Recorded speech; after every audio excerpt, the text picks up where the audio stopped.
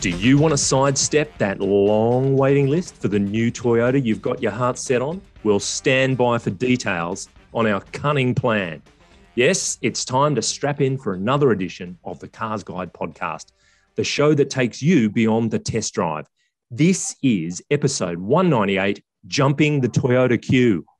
I'm Cars Guide Deputy Editor James, and joining me to discuss this sneaky brand hopping workaround is Cars Guide News Editor Tung Great to be back. and key contributor Mr. David Morley. Yay. we'll, Key contributor. Lost keys contributor. we'll shine a light into distant recesses of the Cars Guide garage, looking back on our hero cars and memorable drives. Then we'll dive into your feedback. YouTubers, if you want to plot your own adventure, you can jump ahead courtesy of the time codes in the notes below, and you can click on the chapter markers in the timeline. So let's hit the start button. And it's uh, from our good mate Byron, wrote a story this week which uh, has created a bit of interest. Um, now, I should preface this by we have nothing against Toyota, um, but clearly, new car supply is an issue at the moment. And what Byron's saying is that the, the 2020s so far have really turned into a decade of waiting.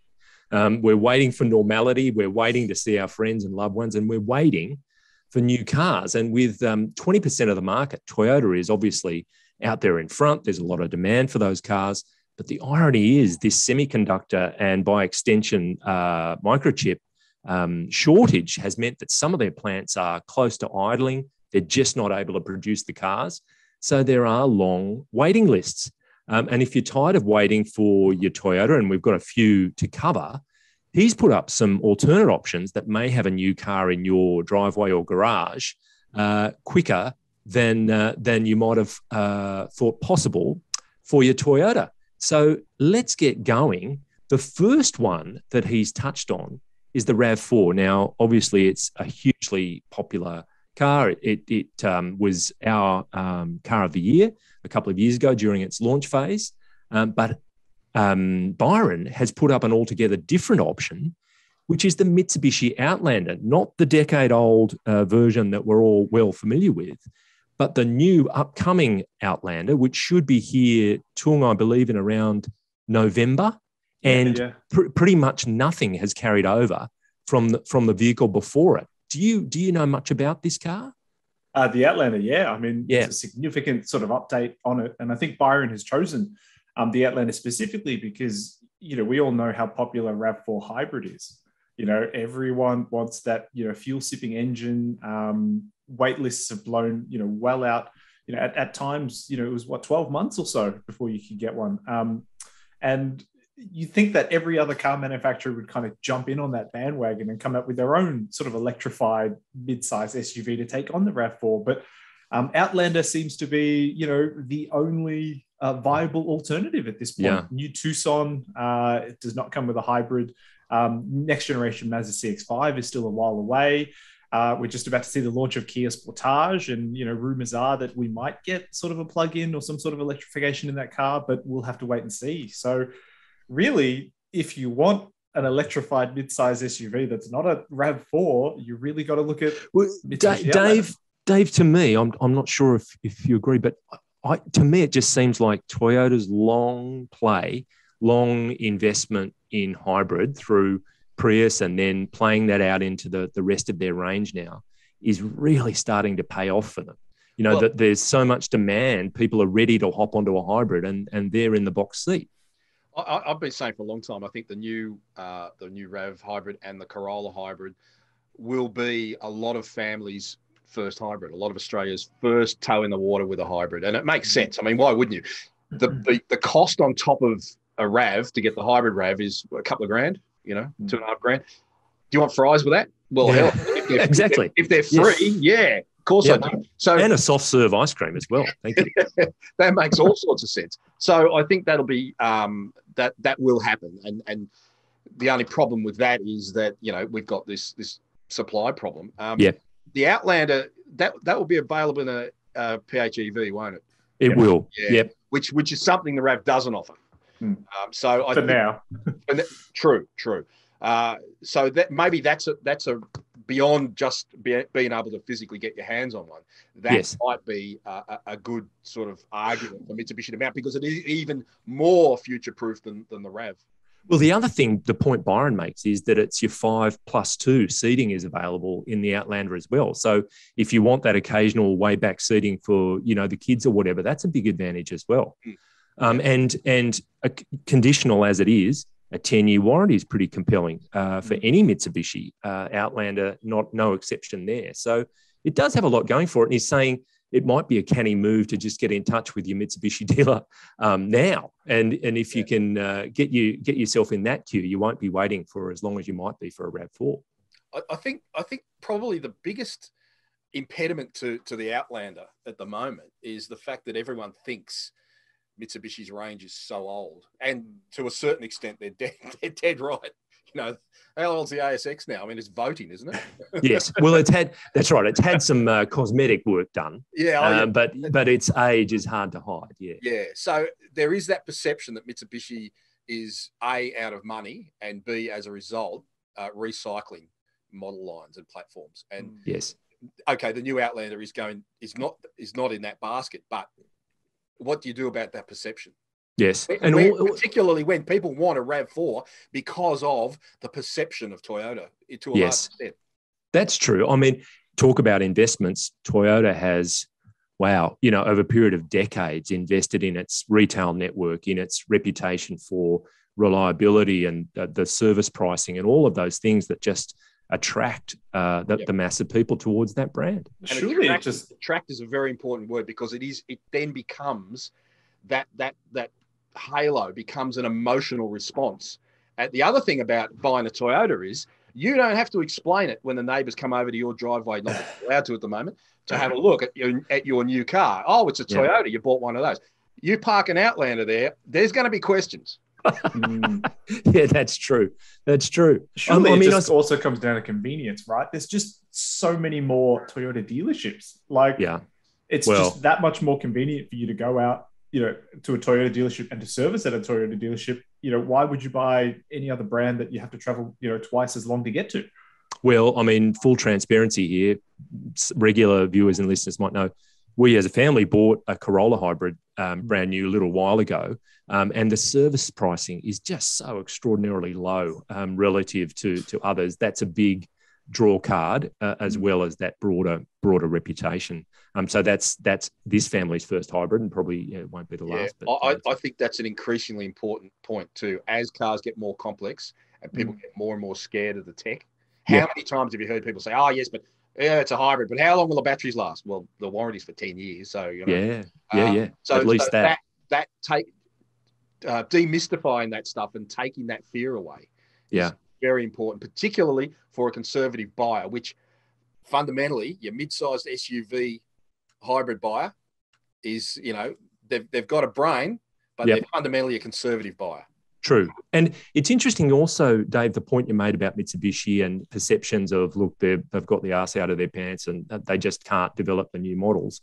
Um, in that try, try relationship with Nissan and Renault and Mitsubishi and um, all of the furor that's gone in that business and keeping each brand to its own lane in terms of the contributions it makes to new product. Mitsubishi seems to be the lesser partner there. It's all about Nissan and it's all about Renault, and then there's oh yeah, Mitsubishi will do its thing. It's it's uh it's almost feels like they're in limbo. Maybe not quite, but but they're the lesser lesser partner in that. I don't know that they're lesser partner. I think they've actually been a bit smarter about it. Okay, Um, I'm concerned. I would be concerned as if, if I was a Nissan buyer with the with the Renault influence on that product line for the last decade. It's not yeah, Uh, Yeah. and you know, then there was the whole schmozzle with uh, Carlos and the, and the Japanese government, and you know that mud sticks. Sorry, Yeah. Yeah. and I think I think Mitsubishi's actually been a bit clever and firewalled itself away from that a little bit. okay. That's an interesting point of view. And points by the way for the use of the word schmozzle. Thank you. Um, now, okay. Well, that's Hendrick that- like me.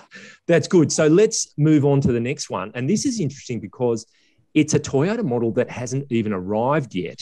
Um, however, we're predicting that demand will be such that you know it's late next year that you'd be waiting for your your Corolla Cross to arrive. So Byron's thought a little bit laterally in that part of the market and said, if you want a small kind of car-based crossover style vehicle, which the Corolla Cross is and will be once it hits the market, what about the Qashqai? And again, your mind goes to a, a model that's been with us for some time. In this case, a 2014 vintage, but he's talking about an all-new third generation um, model that's winning big plaudits in the UK, where it's mm. already uh, been on sale for some time. It's improved in terms of performance and efficiency. The interior's had a big makeover, uh, the quality and the refinement. And there's going to be an e power EV version that will come not long after. So he's suggesting that as a, as a strong alternative to your, your Corolla Cross. What do you guys make of that?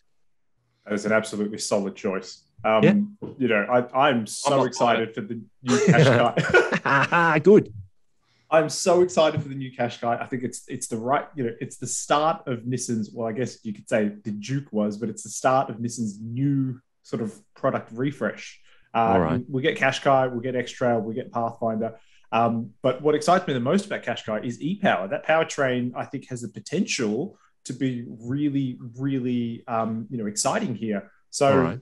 The way it works is it pairs, uh, I believe it's a 1.5 liter petrol engine um, that just generates electricity for the battery.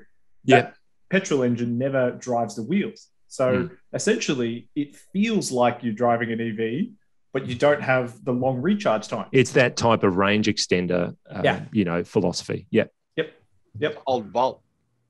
It's 10 years yes, late. exactly. And don't you see a lot of those Holden Volts out there? I wonder I wonder what they're bringing in the used market these maybe, days. Maybe the Volt was uh, too ahead of its time, you know? Oh, yeah. wasn't ready oh, for something like that. Go. Well, look, okay, I see your point, but from my point of view, and and bear in mind, I'm playing devil's advocate here because our job is to assess cars, you know, yep. purely on their merits. And I think a lot of the reason people would want a Corolla Cross is because they want a Toyota. Okay, all that stuff we've talked about. You know, the brand building, the emotion about it, the great the, point, the safety of that purchase, the the not having to explain to your to your neighbours what the hell, what you you know, what drugs you're on. All those things. yeah, I hate those conversations. None of those things is normally for your doctor. Uh, don't apply to the Qashqai. Sorry, they don't. They just mm. don't. I mean, no one's going to buy a car they can't spell, just for starters. regardless of how good the new one is, it's going to yeah. carry the reputation of the old one. It's sure. Yeah. Yes. Uh, yeah, that's why, a good. That's, that's why a good car point. companies change the names of models because they they go, well, we can't call it that because look what a disaster that was. Yeah. Well, well I mean, rather the, they go the, back to Dualis. Well, the the the conventional wisdom in marketing terms is that consumers buy brands. You know, they don't buy products, and and they they start off with a brand that they can trust, and that reputation then underpins their choice in terms of the product that they go for. Um, and at the lower end, you know, the entry point of the market, that may not be the case so much. People are are coming in and making their own their first new car purchase, so all all bets are off. You know, but once people are in that rhythm of buying new cars, brands count for a lot. So I, I absolutely hear what you're saying, Dave. Yeah. Yeah. All right. Well, notwithstanding that, let's move on to another Toyota model.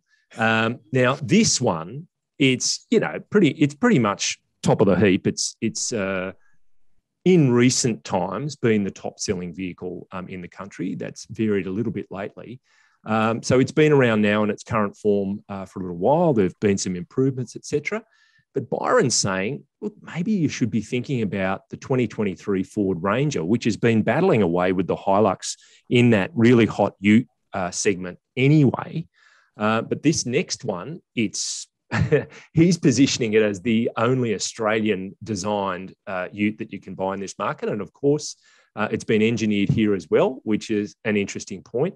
Um, and you're going to be, he's saying, get in touch with your Ford dealer because that when Tung, refresh my memory, when is that due to arrive? Do you do you know that it's it's kind of up in the air, isn't it? We're it we're thinking it might be during the latter part of next year.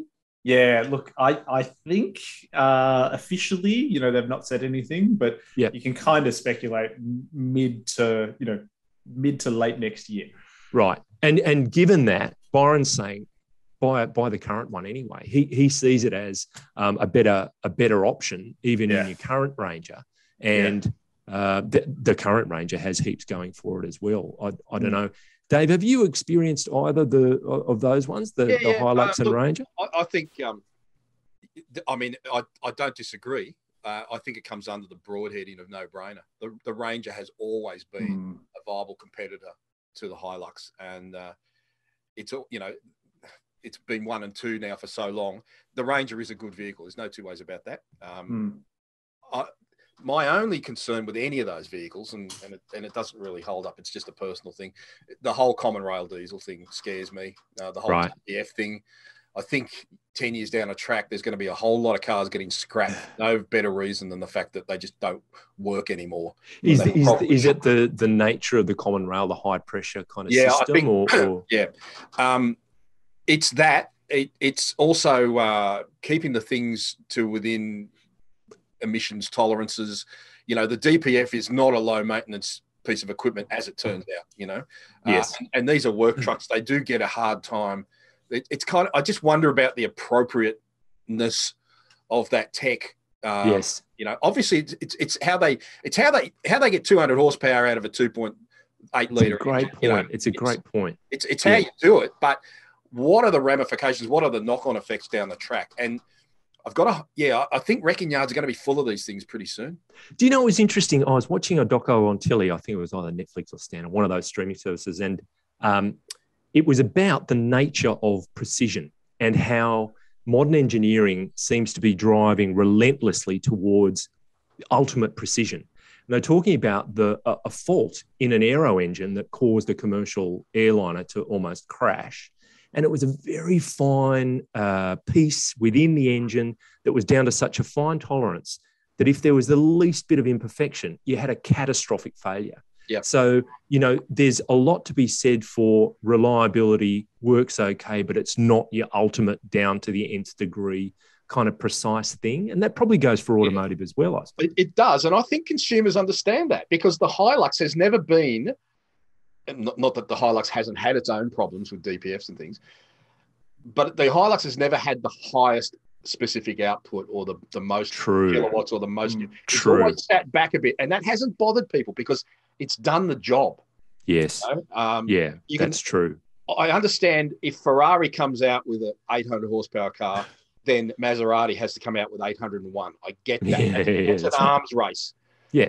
But I don't think work utes necessarily fall into that category. I don't, I No. don't think that's I don't think that's a genuine, genuinely appropriate approach to take for a manufacturer. I think they need to ensure the the fit for purpose aspect of things. The only Yeah. thing I would say there is that there's been a bit of a, a, a kind of shift from your car based unibody utes into body on frame pickups like Hilux and Ranger. So there are some people that are more focused on the rims and the suspension and maybe, you know, tuning their cars up a little bit that, that aren't, they're not work trucks then, they're, they're your kind of lifestyle family transport as well. So there's a bit of that, but, but prime, primarily they're still about you know their reliability and toughness. Yeah, they wouldn't exist if, if they weren't work trucks.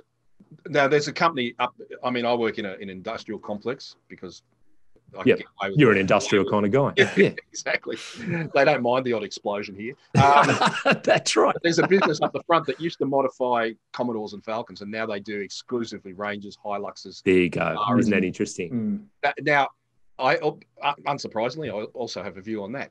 This is the first time in the history of Australia, Australia as a motoring nation, this last few years is the first time that the dynamics and primary safety of the average car park has reduced, has gone back. Okay.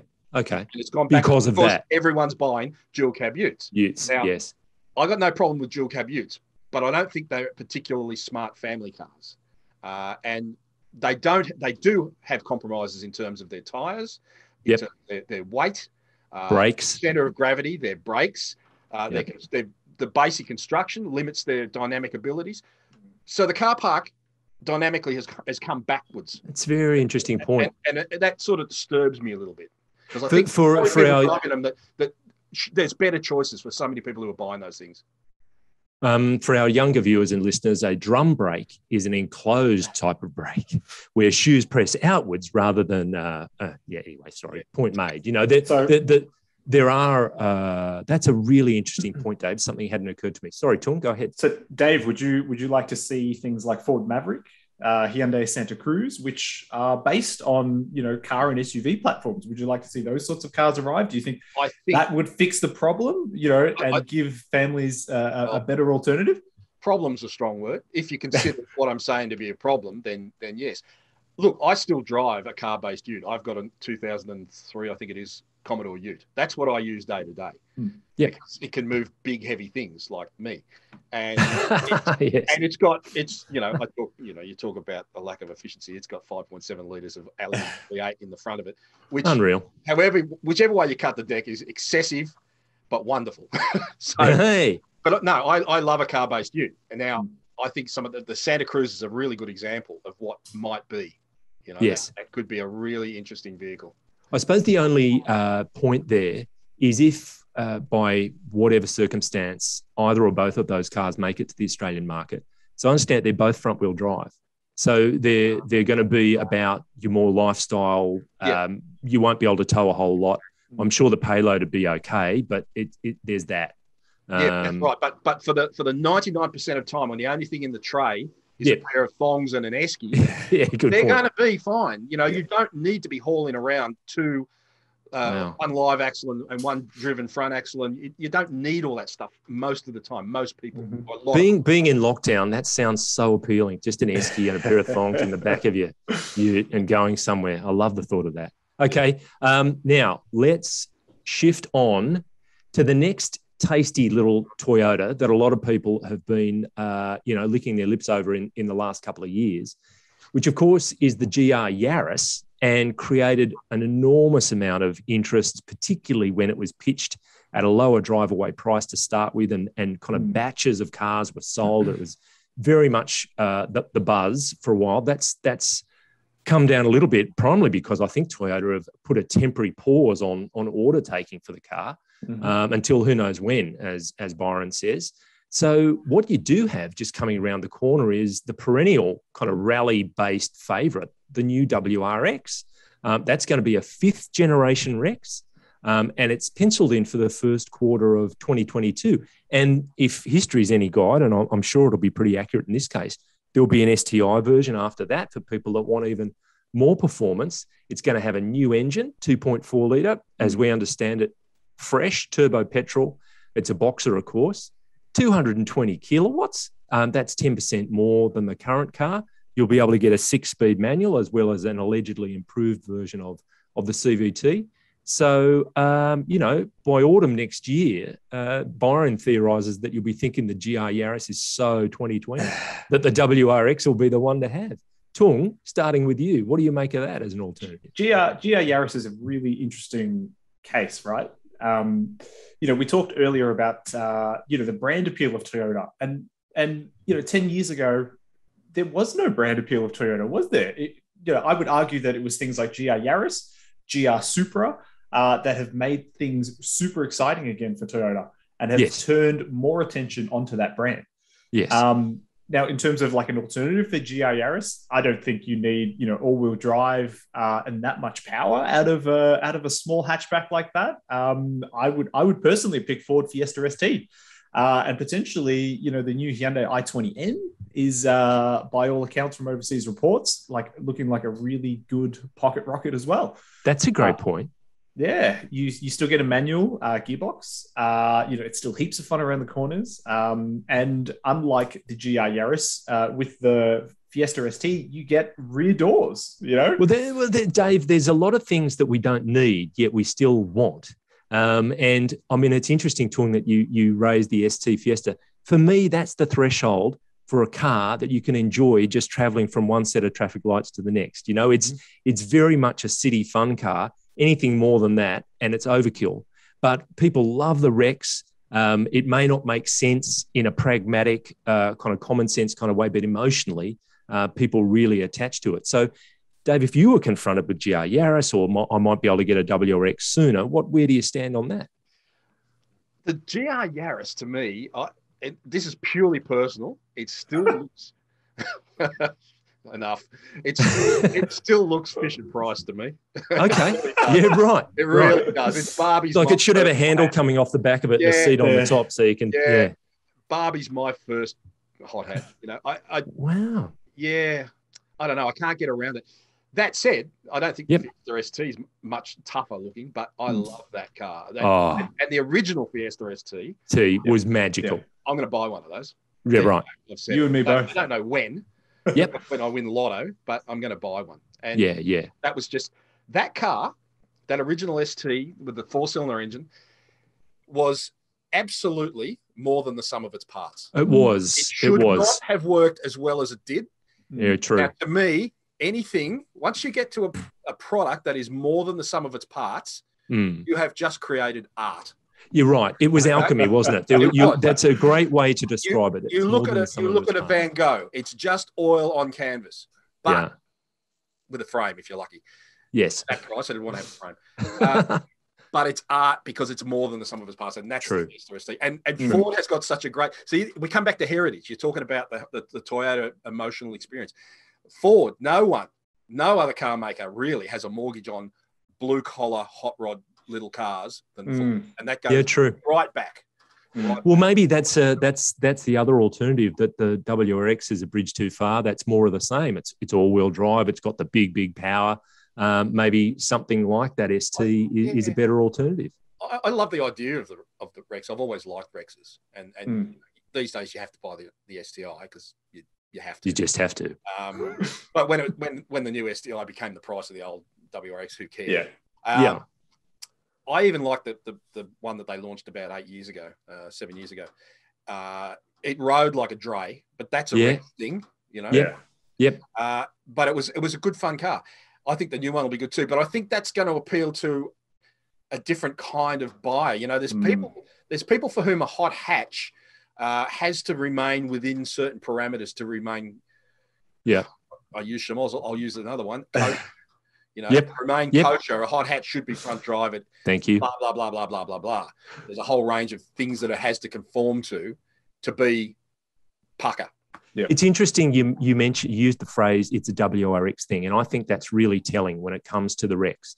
There are people, there are things that WRX buyers want, Yes. and they want that very taut suspension. They're not so worried about the comfort and the compliance. They want it to be really taut. Yep. They don't want linear power delivery. They want No. that whoosh of the turbo. They want it to want to come at them in a rush. There, there are various Yep. attributes of the Rex Yep. that if you if you look at it just across the board, oh yeah, it, it's a Rex thing. I think As that long as sums it up. As long as it's got a plug to charge your, your vape, they will sell. Oh come on, Yeah. now come on, Troy. You're very harsh, very harsh. Now, um, all right, let's let's finish it off. The last one that uh, Byron's called out, and we secretly think that's because he actually wants to talk about the alternative more more than um, anything else. Um, is the Fortuner now? The Fortuner has been almost a problem child for for Toyota. It's they've crammed the market with Land Cruiser Prado, Land Cruiser Fortuner. You know, on it goes. So many uh, sizable SUVs. So what Byron's saying is that you might want to think about the 2022 Isuzu MUX. Um, and it's just been launched. It's got all of this extra driver assist type active safety. Um, interior design and packaging has been improved. So he's seeing that as the solid option relative to Fortuner. And I don't disagree with him at all. I, I, it, it, to me, um, looks like a fantastic package, particularly given the DMAX has been so well received also. Mm. Yeah. See, it's it's weird. I, I am definitely not the buyer type. You know, I am a you know I have a wife and a small baby. Why am I looking at a seven seat you know off road SUV? Sure, So sure. none of those cars actually appeal to me. Fortuner, Everest, MUX, uh, Pajero Sport. I don't see the appeal of them. I think they're all overkill. You All know? right. Yep. Yep. So you know, But they've yeah they've got their market. I mean, I th- it feels like Toyota's just got one too many in that space. Mm, Um, but anyway, um, now Dave, Yeah. before we leave the subject of Toyota, please give us a thumbnail breakdown on the car that's behind you um, as we speak. Okay, I- I'm a big. Uh, I was a big Peter Williamson fan. You know the Bathurst Celica's, the first, the Fantastic. first car in the world to carry race cam, which was an Ri- rising sun on the roof. Wa- Wasn't that always the thing? Correct. Yes, Yeah, yes. he was a Sydney Sydney Toyota dealer, and he raced very successfully, and he won his class in the under two liter class at Bathurst countless times. This car behind me is the second gen Celica. It's an RA40. Uh, it's a hard top, and I bought it. Oh, three or four years ago out of a shed uh, where it had been sitting, um, waiting for a uh, divorce settlement to be concluded. so Mm. it's, it's Which which- 13 years. Which sadly is always a, a, a rich field of opportunity when it comes to car purchasing. The guy just said, "Look, I've got to get rid of it. Yeah. I've got, I've, I've got to buy her a new footpath or something, and, and, Oh. you know, Oh, I've got to sell it." So he sold it, and I and I, I didn't beat him up on the price, but they, they weren't worth much then anyway. They're still not. Uh, but since then, I've changed the wheels and tires. I've redone the suspension. I've stripped the interior. It's got one race seat. It's got a bare floor. I made a dog leg short shifter for it. It's got a twin cam engine. I've It's done a bit. Of. I've done a little bit of work to it it's unreal. and it's Mm. and it's um it's a lot of fun and it's it's a really visible it's one of those high purely by fluke it's one of those high impact cars that people will walk past the Royal Ferraris to look at this thing Unreal. Yeah, I bet. I bet. know, it's it's just astounding what what sort of um, and everyone loves it no one hates it Well, the the other thing is anyone that, that knows anyone that knows you or knows of you realizes that's not your only car, and we could do an entire podcast on your fleet. But that is a very uh, a very interesting car. Thank you for that update. We No. will now move on to our garage, having uh, having uh, whet people's appetites with that one. But Tung, Yep. we're talking about um, in these COVID constrained times, casting your memory back to a wonderful occasion that has somehow lodged in your memory uh, around a car, but it could be all kinds of things that uh, are meaningful for you. Fill us in on yours, please. I, you know, when you asked me to sort of uh, put some thoughts together for this, the first thing that one of the first things that jumped out in my mind was um, was the launch of the the Hyundai i30N um, back a few years ago. And you know, this was this was such a monumentous thing for Hyundai. It was their first real, you know, hot hatch. Um, they had gotten, you know, people like Albert Biermann to, to come Yeah. aboard and, and, and develop this car. You know, they had used the Nürburgring uh, test track to, you know, fine tune suspension and all that it was uh, it was a huge deal for them. And um, uh, you know, you guys would know. Oftentimes, you, you go on a car launch, and they kind of give you, ah, you know, here's two hours in a car, drive down the freeway, you know, park up at the the hotel, and we'll see you for dinner. And that's all the drive time you get. But Hyundai was so confident in this car, so confident that you know, at the the, the presentation, they said this is going to come with a track coverage. The warranty covers track use, non-time track use. And I remember all the journalists just going, "This is insane!" Like, you know, there's only Porsches really that do this sort of thing. Um, but you know, we we we took their word for it, and uh, you know, on the day we we drove. It was uh, the launch was held out up in Albury, Okay. um, and for the day, you know, we drove around, you know, Victoria, New South Wales country country B roads, and we were driving. I remember being in the car from from 9 a.m. and not coming back to the hotel until 6 p.m wow. we drove that car like flat out nonstop for about nine hours, eh, with the only break being for lunch, right? And uh, and then what really blew me away was that the next day we drove the cars from Albury down to Winton. The very next day, Oh, and then you had a fang on the circuit. and then we had a fang on the circuit. And for about uh, for half the day, we drove the cars around and around and around the track. And the best part of it is, Unreal. you know, at the end of it all, Hyundai were like, "Here are the keys. Can you drive this car back down to Melbourne for us?" Yeah. And I just blasted down the Hume yeah. after you know two days of absolutely flogging these cars, and you know nothing broke, uh, nothing broke down. It was still running as well as it was, you know, the day that. so we, what we what got the what keys. were what were your expectations going in, and then how had they been met, exceeded, or otherwise afterwards? And uh, you know, did it shift your world in terms of where Hyundai sits in the in the pantheon of brands? Yeah, hundred percent. I think Right. y- you know it's very tough. Like we're journalists, we're cynical by nature, right? You know, so when a Well, I car don't- brand, I don't agree with that. Yeah. well, I am cynical by nature, and when a car brand tells me something, um, uh, you know, I I don't take their word for it. You know, I think you know how much of this is marketing, how much of this is you know you trying to put out a positive message, um, and for Hyundai to back up what they say in such a uh, comprehensive way. Um, you know, that's that's Amazing. what Yeah. blew me away. And Yeah. absolutely, it, it changed my estimation of Hyundai. I would love to buy an i30N. I walked away from that launch going, at one point in my life, I think I need to own one of these cars. Right. Well, your Yeah. garage is lining up. So you've got a Fiesta ST, then you've got an i30N. Um, it's already taking shape. That's perfect. Yeah. Um, thank you. That sounds amazing, Tool. Good one. Now, Dave, Mm. you've you've got the chops here in terms of uh, opening up your horizons in terms of where your your adventures may take you. So you Yeah. give us give us one of your motorcycle ones, and then and then finish it off with a bit of a car one. Well, uh, look, I've always said that the, one of the reasons I love cars and motorbikes is because they can take you places. And in, I'll preface this by saying, in a in the current world that we live in, so many experiences are electronic. You know, the telephone, you can talk to people without getting out of your pajamas. Television, you can see things without leaving your lounge room. The internet, you can, God knows the limits to that without leaving home.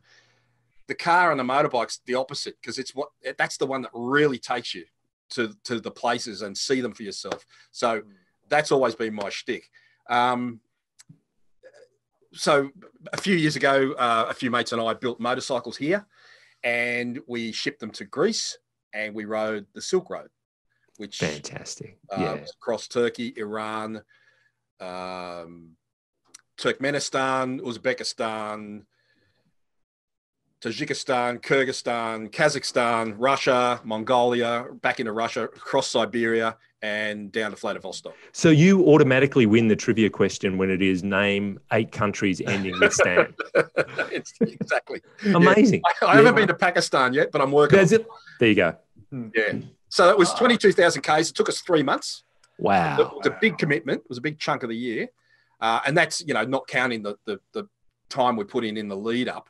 Although we did keep the planning fairly simple. Um, Yes. and we elected to ride from from west to east. And I'm not making it because you can do it either way. I'm Yeah. not making this up. We did it that way so that we wouldn't have the sun in our eyes every afternoon. Fair enough. Fair enough. You don't want to be squinting the whole time. exactly right. You missed too much. And and in building the bikes, what were your priorities? You were going to be dealing with, I suspect, variable fuel or, Yeah, or, or reliability, obviously, Yeah. because uh, um, I, I chose a bike with an air cooled engine, so it Mm. could get a rock Yep. through the radiator. Uh, Yep. No fuel injection, so it, would, Yep. it was a carburetor. It would- It would run on the sort of fuel we were buying out of people's back sheds. Mm. Uh, you put a you put a handkerchief over your fuel cap over your fuel uh, uh, opening just to keep the oh wow, yeah, right, It was, it was rubbish, and the bikes wow, the bikes suffered, you know, sometimes. And the other thing was we're at uh, at, at one point we we're at four thousand seven hundred meters on the Pamir Highway in uh, in Yep. Tajikistan, Wow. looking looking into Afghanistan across the river. So your carburation is going all over the place It- with it the altitude. gone to hell, and Yeah. for a lot of the time we're at sea level. So it was a huge range Wow. to bike for. Uh, I chose a bike with a steel frame because you can't weld aluminium without TIG. Yep. And Yep. all of Mongolia, there's not a TIG welder. oh wow, I know that. Wow. Got stuck. Uh, and I saw a lot of exotic adventure bikes stranded in places like cities like Osh in, in Kyrgyzstan. And the Mm. guy's just had to fly home. He's going to come back and get it next year with the parts he needs. Because, you know, goodbye, there's holiday over, you know. yeah, yeah, Mm. yeah, Um, yeah. Wow. Well, so- that's it. It- The the Yeah. planning um, so much underpins the execution of the adventure, doesn't it? It- it- that you, you can't underestimate that. There, there again, until you know what you're up against, it's very hard to plan for it. I mean, Yeah, you know, some of, those, some of those stand countries after the USSR imploded, uh, Tajikistan, for instance, was plunged into 10 years of civil war. Mm. Now they're only just coming out of that. So, Yeah. you know, there's towns in in the desert in Tajikistan where every flat surface of a roof is covered in camel dung because Right. it's drying because that's what you cook on. That's Wow. what you burn to cook on. I mean, this is this is serious, mum. You know, this is Yeah. proper. Were, were, were you, as an envoy, able to calm any of those uh, goings on on your way through, Dave? Or, or No, no. Um, in fact, po- quite possibly the opposite. we did get Ah. stopped a lot by the police, particularly in Iran. We would get stopped uh, pretty much daily because we were Yeah. very visible. Four big blokes on four big bikes, Yeah. clearly not from around here. Dave, can I ask about the physicality of it? You know, I've had very limited experience with bikes in the past, but to me, riding across all those countries over three months, you know, it sounds very physically demanding. I used to be a supermodel, and look at me now. That's what it's, that's what it's done to me. No, you do you do get um, your backside becomes pretty. Oh, the, that was the other thing I did. I repadded the seat on my bike. Yeah. I knew there would be long days.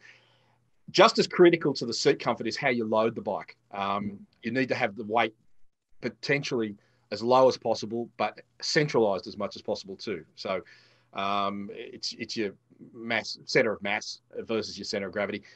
But at the same time, you're going to be riding through rivers, and mm. in Mongolia, the main road doesn't have bridges; it's got water crossings.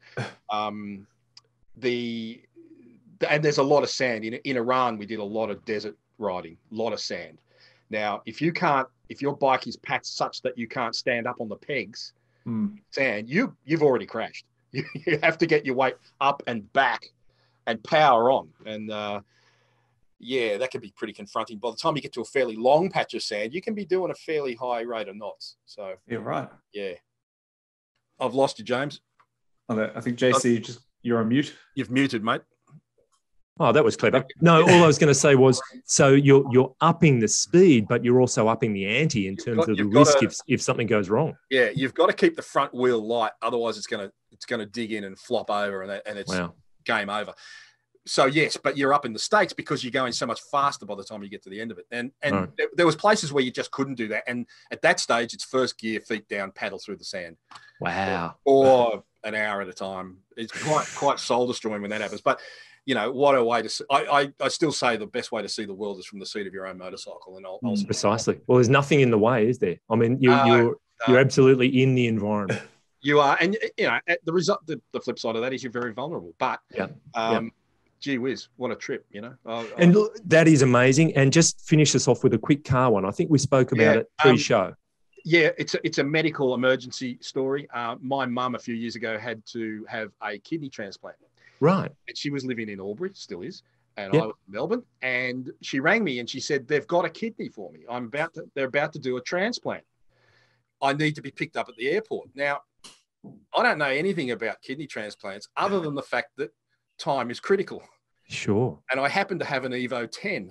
Right. so I picked my my dear grey haired mother up at the airport in an Evo 10, and I had her at the hospital in fairly smart order. Uh, I don't think, was, I don't was she too many trips like that. Was she operating the rally halter while you went there? You were checking stages off as you got. Uh, she was navigating. Yeah. Uh, wow. It was, um, uh, thankfully, it was the cameras were turned off that day. I don't know. I don't know how. Unreal. Unreal. And I got her there, and she had the kidney transplant. It was an absolute success, and she's still living independently. Fabulous. That's fabulous. Amazing.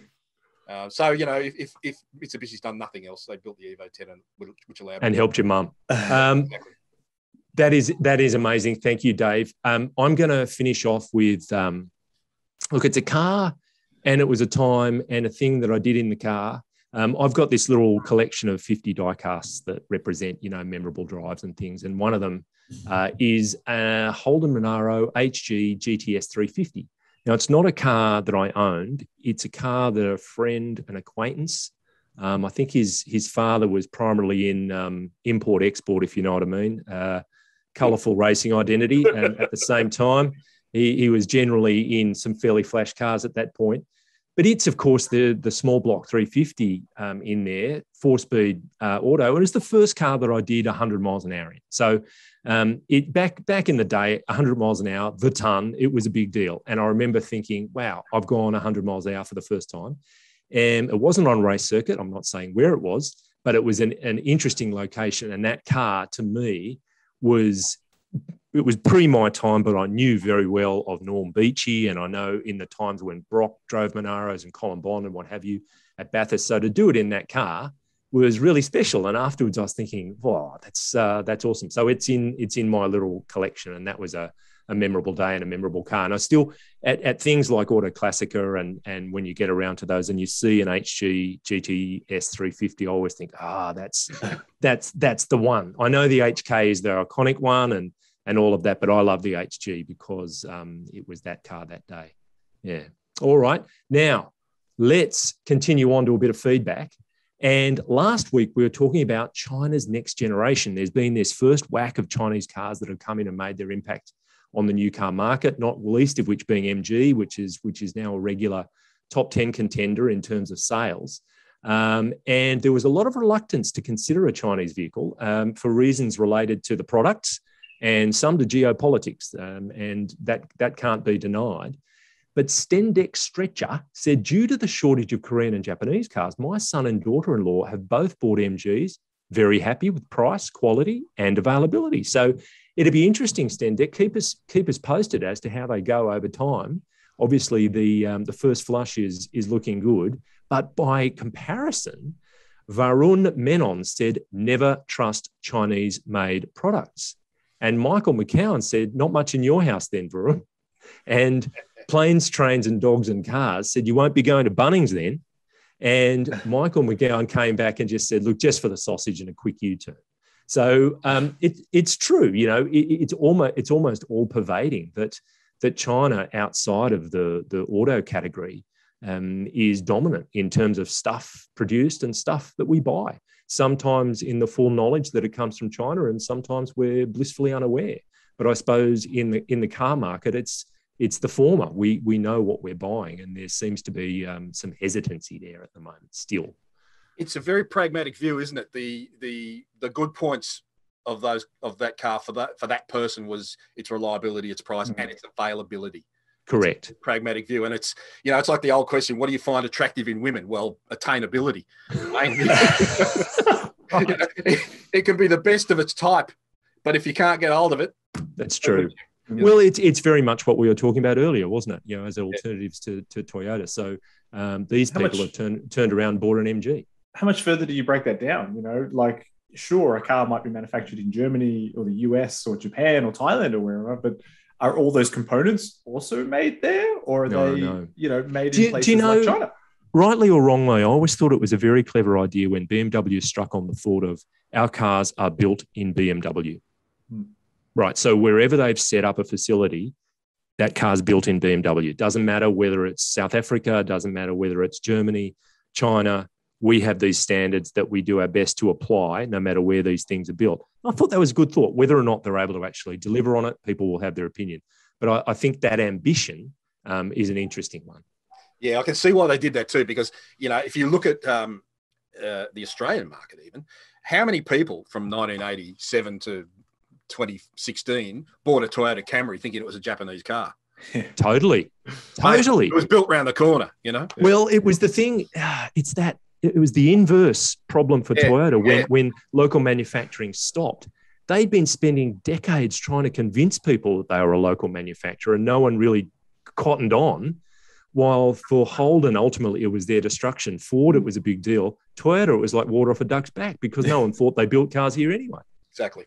Yeah, yeah. All right. Now, then our next commenter, Digifish, said where the Chinese are about to dominate, and it seems blindside the Australian market, is the EVs.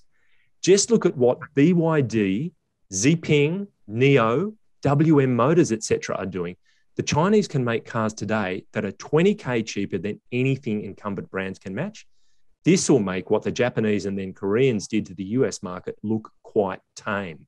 So he's predicting um, that this push is not temporary, that it's uh, symptomatic of something that will continue and only grow.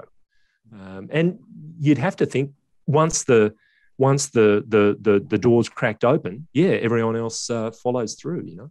Well, I think the same thing happened 20 years ago with Hyundai or the South Korean brands. Yeah. Yeah. You know, I remember driving the very first Hyundai Sonata Mm. Oh man, mm. it, it had a mm. collar and drank from a bowl. It was yeah. yes. Know, all yes. of a sudden, now you know. I mean, I don't know about you, but I recommend South Korean cars to people all the time. Mm. True, it's, and they're, they're in the consideration set. Completely valid option along with any other brand. And that and, hasn't taken that long, you know. Well, Dave, the the flip side of that is, and I've mentioned it a few times in the podcast. Forgive me, but visiting the Ulsan plant in successive decades mm. was incredible that the first visit was like medieval. Uh, oh. You know, it, it, was frightening. Charles open, Dickens couldn't have invented that place. Open fires, and yeah. you know, it was amazing. And then you just went back, and it was cleaner and slicker, and robots, and yep. on it went. That that leap was commensurate with you know the improvement in the product. So uh, yeah, it's been extraordinary. However, um, I, think, I, think, it's an interesting point that the, the, the, our respondent says, "Oh, well, they can do it for twenty grand less." I put it to you that Toyota could build a car for 20 grand less than they charge now. But what would it be like? That's interesting. That's a really interesting point. Well, here's ACDE says only a few Chinese manufacturers are worthy of consideration. That's his view, her view. Others, others never think about making products to an international standard, much less exporting them. Um, they're stuck in the domestic market, relying on government subsidies to survive. Many brands, especially state owned ones, have no soul. His words, not ours. So, no, so I suppose that's the difference, isn't it? That you're making what is just white goods on wheels. We don't really know what this is. We'll, we'll just do what others have done and, and make a, a thing. Whereas others have become auto manufacturers and understand that there is some emotion and some engineering dynamism and some need for for the car to be a bit more, as you said earlier, Dave, as, than the sum of its parts. Mm. Um, he suggests never, capital letters, buy these products. Uh, don't be cheated by words like innovation, world leading, etc. MG's products are meaningless. Just check their fuel consumption and you'll realize the, atti- the attitude. They came along in Australia. Even in China, it is not a popular brand either. So I suspect that ACDE may be coming to us from China um, and that's his view that there are a bunch of brands there that never think about exporting, but some have crossed over and, and done just that. Okay, the problem with that argument is that why would why would the Chinese have bothered to buy the MG brand unless they were trying to gain some global traction? Mm. Yeah, I don't think yep. I, I, can I can understand that MG might not mean anything to to a Chinese audience because they're first generation car owners, a lot of them. Yeah. So so the, the heritage of MG means nothing. So mm.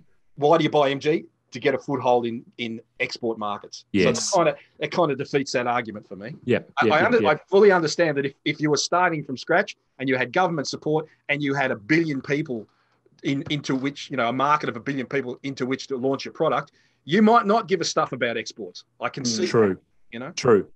Well, that's that's it. I mean, that's the challenge, I suppose, when you are a BYD or a Xpeng or a NIO or a WM Motors. They're, they're all completely from starting from scratch. They're, Mm. they're, they're they're not known names. They have to build that awareness. They have to build some integrity into what they stand for to be able to sell outside the domestic market. Um, right now, Birdie and Jim, Jim Danek made the same point that it was this progression. You know, Japan, which was really the late 50s into the 60s, early 70s, was seen as a, a questionable choice, became utterly mainstream. Um, Korea from the early 80s through into the mid 90s, same deal now completely mainstream. And they're both theorizing that China will do the same and we'll get used to it. So there's all this initial uh, reluctance, but inevitably um, it won't be a factor. And I think they're they're pretty right. The writing's on the wall. I do too, and I and I'll mm. tell you why. If the Japanese manufacturers and brands made it in Australia, anyone can. You know, for yeah. all that for all that there's suspicion of the Chinese government, there's the you know the, the geopolitical reasons you were talking about. Japanese cars became a thing. Now, it wasn't long before that they bombed the chip shop in Darwin. You know? That's true. That's true. It's, and I only learned the other day in Broome as well, mind you. There were yeah. there were uh, attacks in Broome. I didn't know yes. that, but anyway. Yeah. Um, yes, so that's a very very good point. Um, people do, I think, also in commercial terms, have a relatively short memory. Um, but yes. Planes, trains, and dogs and cars chipped in again and said to see how far the Chinese have come, check out the HiPhi X and ACDA, who we suspect is coming to us from China, actually said, What's a HiPhi X? And I had exactly the same question in mind. And it is, in fact, pronounced HiPhi. And their main product is a six seat battery electric crossover with suicide doors and a flip top roof panels at the back. And for those looking, uh, watching on YouTube, will have some vision of this car. It looks amazing. Um, whether it makes it uh, to, to, this market would be very interesting. But um, quite an out there design. De Kook, our old mate De Kook, has suggested that leasing deals might be a good way for Chinese brands to overcome these potential reliability worries. You know, offer a Z- MGZS for something like $100 a week with rego and insurance uh, to increase the car park and lift awareness. And then you might do something like Ford does in the States and offer an upgrade to a higher category. Like Ford will give you a Mustang for two weeks of summer instead of your leased escape, which is a really lovely kind of custom customer loyalty thing. Um, you could nurture a lot of loyalty and and get people into the brand. I think it's an interesting idea. Raise raise the profile. I mean, MG's a, a top ten brand now. You know, they're outselling True. Subaru. Do they, you know, need to raise the profile more? Maybe. I mean, I'm sure they have aspirations on a higher number than ten um, in in the sales charts. Sorry, I, I bet Tom, if you if you went down to a shopping centre and asked people, there'd be a certain a, a reasonable percentage of people who don't know that MG is even a thing anymore. So yeah, I think while while people who are actively shopping understand that they're here and have showrooms, if you're not, then I I suspect they're not front of mind for for a lot of people. They're Yes. not they're not even acknowledged as a player. Yes. All right, now, and we'll finish this off with uh, the incredibly named Geo Bloke. He says, um, Look, I love the intro music. I reckon that's the song my, unc- my uncle had in his head after a dozen tins at my cousin's wedding. and uh, yeah, well, I'm glad you love it, Geo Blake. Thank you. And uh, we will continue to play it uh, for each episode of the podcast. But with that, amazingly, we have reached the finish line. So I want to say thanks for joining, Dave, My, my pleasure, mate. Good and fun. thank you, and thank you, Tung. It's been real. Good, and thanks to our podcast visionary, head of evidence shredding, and weekend golf ball diver, Mr. Pritchard, for his mastery of the audio visual arts. Today, he's dressed as a balloon poodle, which makes things a bit tricky in the production suite, but you've got to respect his fashion freedom. It's amazing. Jump into the conversation. Cars Guide is on Facebook and Instagram, or email us at comments at carsguide.com.au. Apple Podcast listeners, please take a moment to rate and review the show. Please do it. Five stars would be great. Uh, thank you. Uh, if you enjoyed the episode, make sure you subscribe to the Cars Guide YouTube channel so you can stay on top of all our latest content. But before we go, look, thanks to COVID, a bloke I know through the car club's been caught in Switzerland for about 18 months, and he's just made it back to Australia. Um, despite the delay uh, coming home, he reckons he had a good time. I said to him, You know, what is it about Switzerland that, that you like so much? He said, It's hard to put my finger on it, but the flag's a big plus. Ba-dum-tsh. Dear, oh dear. I really like that one.